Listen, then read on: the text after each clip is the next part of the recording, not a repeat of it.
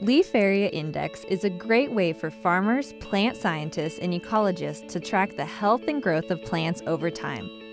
Leaf Area Index, or LAI, is one sided leaf surface area divided by the ground area. The gap fraction method is the most practical way to measure leaf area without damaging the plants. Gap fraction indicates how much of the sky is visible from beneath the plant canopy. If you can see more sky, the gap fraction is bigger. If you can see less sky, the gap fraction is smaller. The amount of foliage can be calculated from the gap fraction if we assume the leaves are positioned randomly within the canopy. Let's see how this works. How many leaves does it take to block your view of the sky? That depends on how they are arranged. If they don't overlap, it takes relatively few leaves to block your view. At the other extreme, if those same leaves are stacked on top of each other, not much of your view is blocked. A useful assumption is that the leaves are positioned randomly, which puts us between these extremes with some leaf overlap. When leaves are randomly arranged, there is a simple exponential relationship between leaf area index and gap fraction.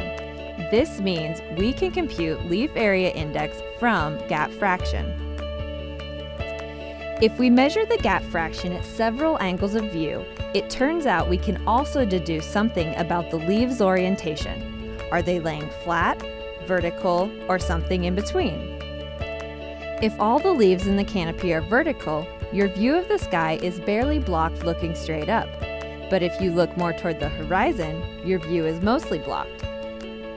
With the same leaves laying flat, on the other hand, you can see more sky looking toward the horizon. When you look straight up, your view is mostly blocked. As you can see, gap fraction information, especially as a function of view angle, is quite powerful for indirectly estimating canopy architecture. How can we measure gap fraction? One method is photography. A high contrast fisheye photograph taken from below lets you compute gap fraction as a function of the view angle. Digital processing can automate this, but two potential limitations are resolution, especially for small leaves and tall canopies, and differentiating bright, sunlit leaves from the sky background. Another method for determining gap fraction uses multiple measurements of direct sunlight at different sun angles over time. Gap fraction for each sun angle is determined by how much the sun is blocked. LI-COR's LAI 2200C plant canopy analyzer doesn't require multiple sun angles. It uses a fisheye lens to project a nearly hemispheric image of the canopy and sky onto a ring detector. This lets you quickly get gap fraction at five different angles by comparing two readings, one above the canopy with one below the canopy. A single above canopy reading can serve as a reference for a number of below canopy readings, allowing the LAI 2200C to quickly measure leaf area index and foliage orientation over a large area without waiting for the sun to move. The LAI 2200C comes with view restriction caps to limit the view in small plots or to block the operator from being viewed. Also, some of the outer rings can be masked, restricting the diameter of the cone-shaped area viewed by the light sensor.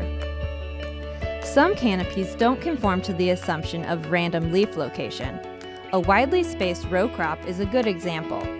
A single below canopy measurement can't represent the entire field, but if you take several measurements along two or more diagonal transects with a narrow view cap attached, the LAI 2200C can account for the non-randomness in the canopy.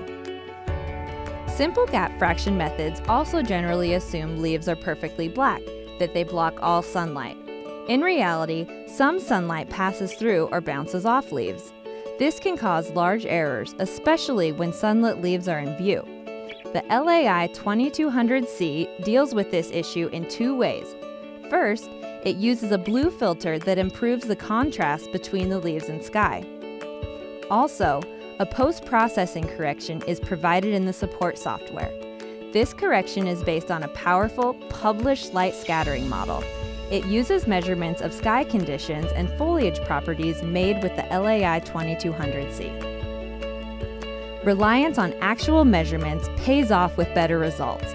Multiple studies have proven the accuracy of the LAI 2200C with results that compare favorably to destructive sampling methods. What questions could you answer with LI-COR's Plant Canopy Analyzer? Contact us with your ideas and questions.